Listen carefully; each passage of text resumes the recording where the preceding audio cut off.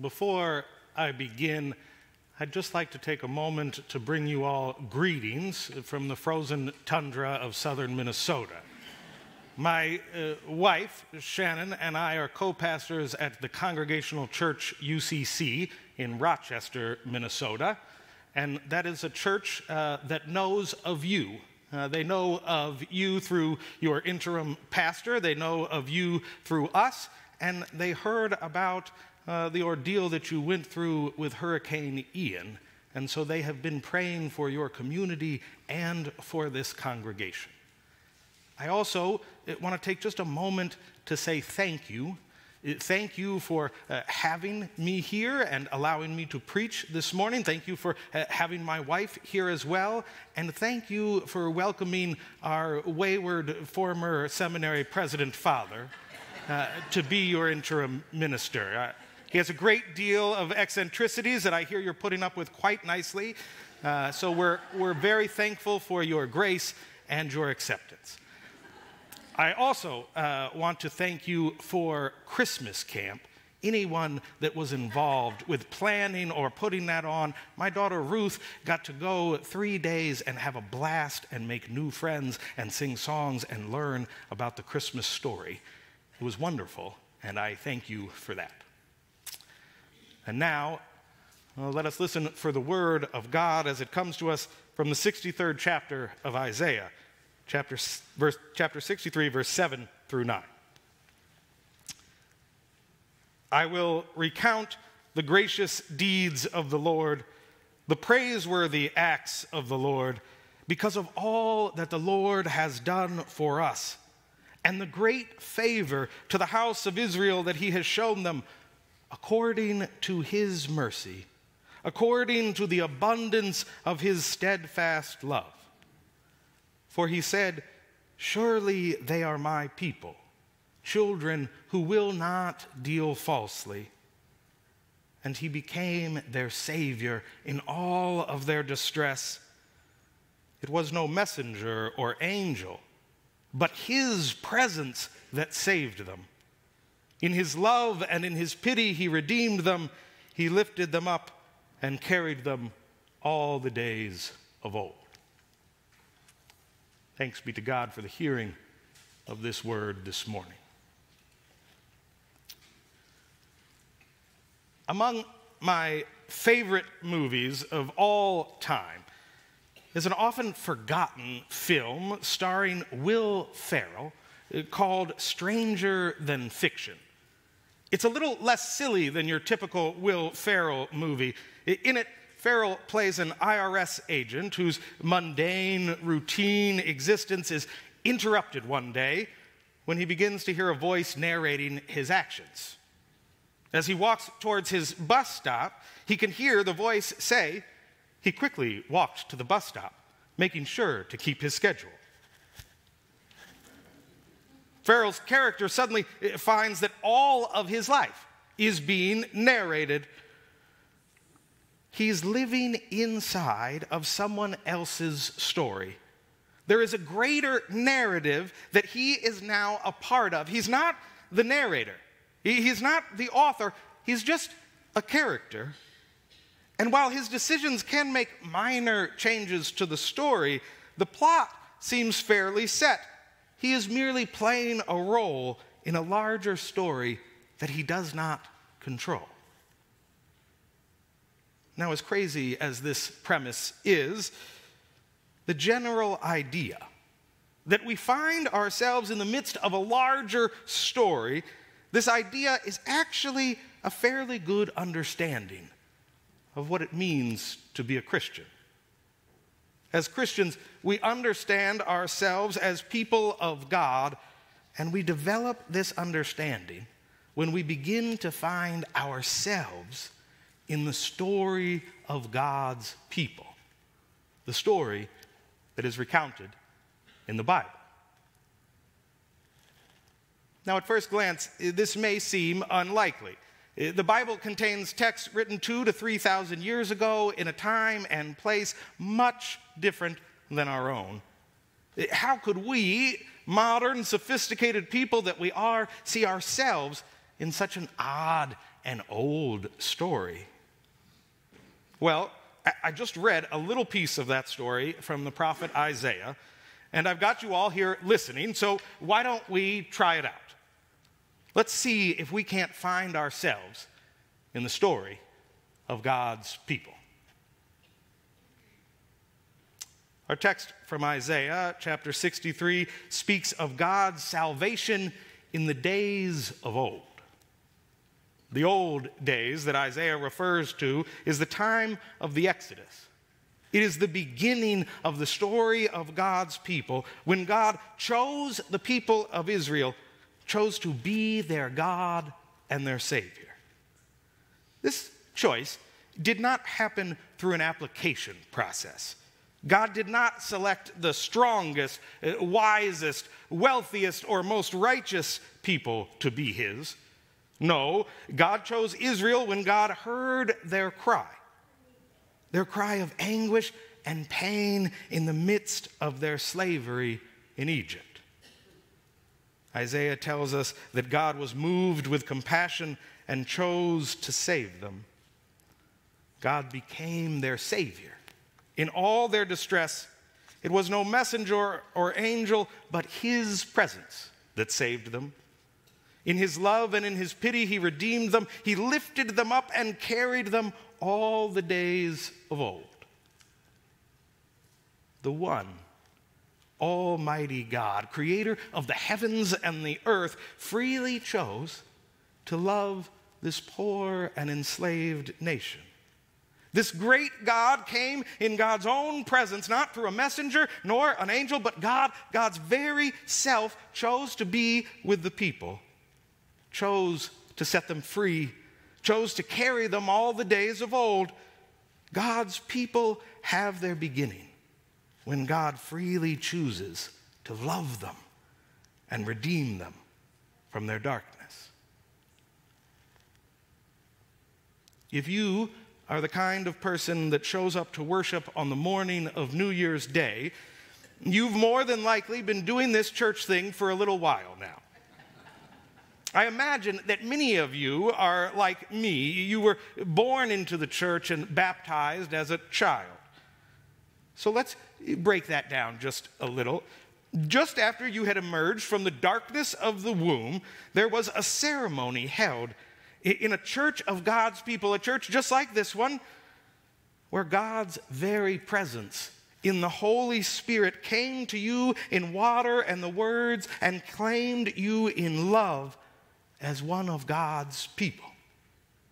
God chose you when you were nothing but an infant. Before you could have done anything to merit or deserve such an abundant outpouring of God's love.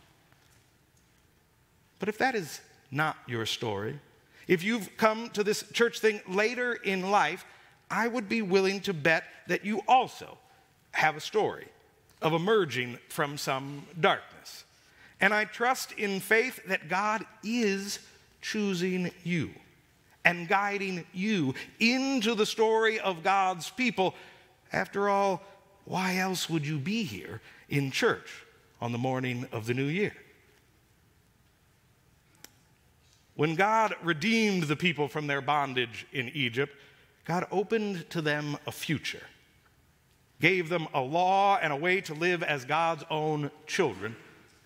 As Isaiah phrases it, God had high hopes for the people, for he said, Surely they are my people, children who will not deal falsely. Well, if you've read past the 20th chapter of Exodus, you may know that this is not exactly the way that things panned out. Almost immediately after receiving the law and the way to live as God's children, the people of Israel abandoned it. They chose to create their own God, to cast a calf out of gold and to worship it instead. And things did not get better from there. Soon the people demanded a king so that they might be like all of the other nations. They began to oppress the poor amongst them. They became rich by their exploitation of their own brethren. They worshiped at the altar of other gods. the people neglected the fact that they were God's children, and they did indeed deal falsely. Sometimes, when you are in a new place where people don't know you, you can pretend as though you have always been one of God's good children and have never dealt falsely yourself. I am not quite in that position today. Because although I do not know most of you, eh, my father, my mother, and my wife are all here today. And unfortunately, they know the whole of my story. Though I was baptized by God's own presence in the Holy Spirit as an infant, though I was raised in the church to be one of God's children, I strayed from this path a great deal. Like Israel, I often tried to be like those around me rather than who I had been called to be. Like Israel, I strayed from the covenant with God and I found other gods to worship, gods like self, gods like alcohol and drugs, like nihilism and cynicism.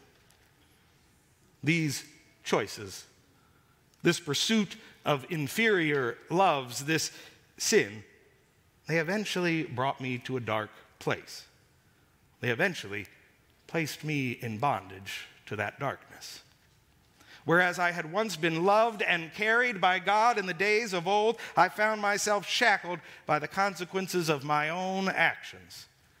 I had wandered and become lost. Now, I may be the only one here who has such an experience of straying from our place as God's children, but I doubt it.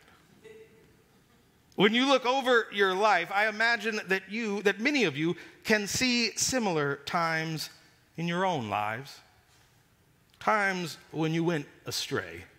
Times when you forgot and betrayed your identity as God's beloved child.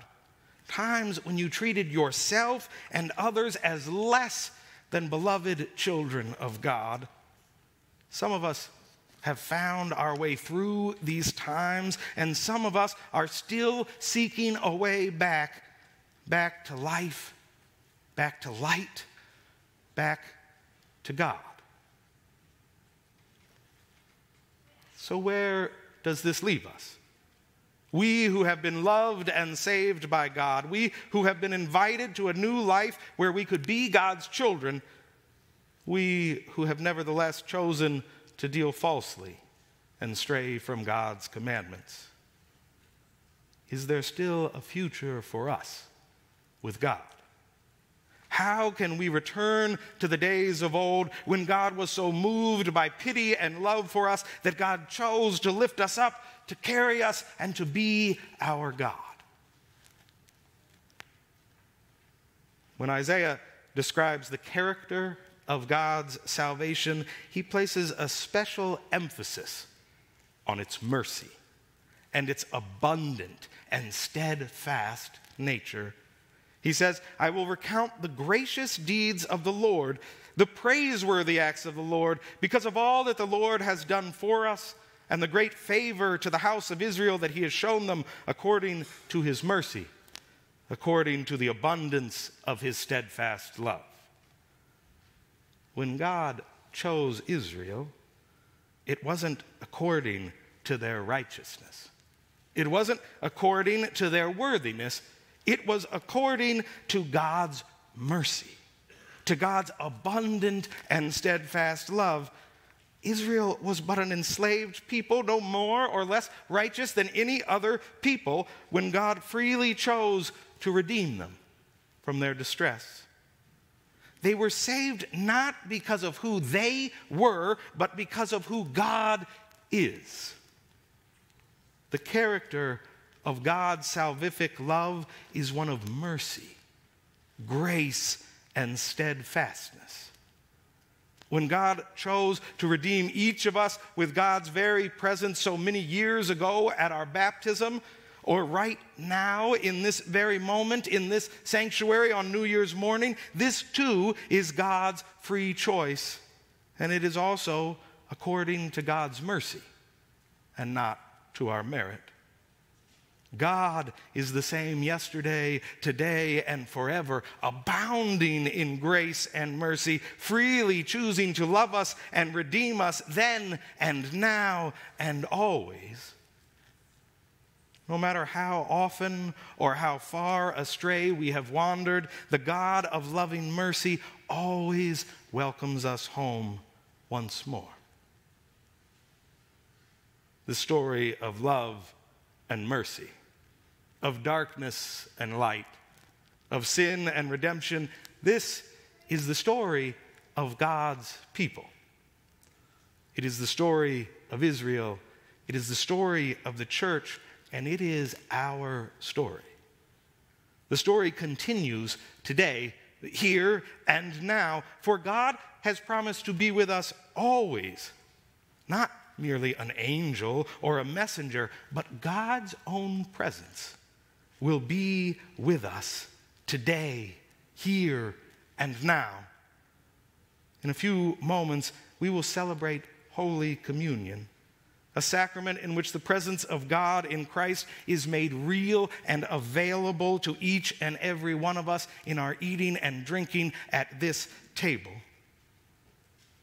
This presence is the very same presence that redeemed Israel so long ago it is the same presence that saved us at our baptism or brought us here this morning. It is the presence of God, the God of grace and mercy, inviting us once more into the story, inviting us to find ourselves as God's own people, to rest once more in the love and grace of the God who claims us as her beloved children again and again and again. May we bask in this presence. May we know God's love and grace, and may we leave this place committed once more to playing our part in the story of God's people. Amen.